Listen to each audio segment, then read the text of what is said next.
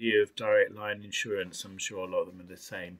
I got hit by a crash for cash scammer jittering around in a McDonald's drive-through.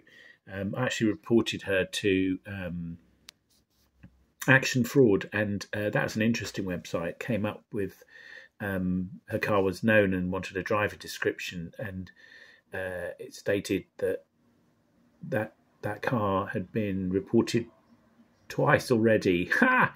Police thought I was delusional when I reported her as a crash for cash scammer.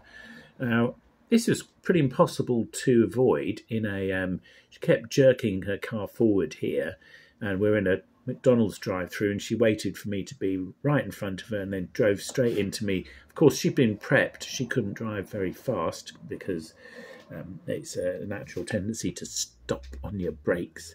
But um, and she only just scuffed my car. But then she claimed uh, front wing damage, driver door damage, and bumper damage. Um, I sent photographs to um, Direct Line, and um, the damage on my vehicle. Damage again with a straight edge against it to show that there's no dent. Um, Direct Line went on to lose my document uh, description and this drawing. Um, a police thought as delusional. Letter from um, Direct Line.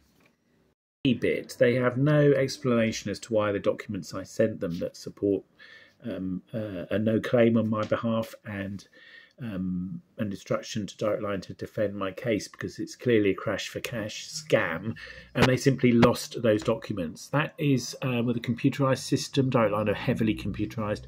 Um, it's impossible to lose documents. So what this represents is an upsell policy. Um, they want to basically review the claim which is not a claim, it's an incident report um, with no defence on my part. Yeah, right, okay. I'm actually, I had four cars insured with Direct Line, landlord insurance and public liability. I now have no insurance with Direct Line at all. I actually use um, cover at the moment and um, it's cheaper.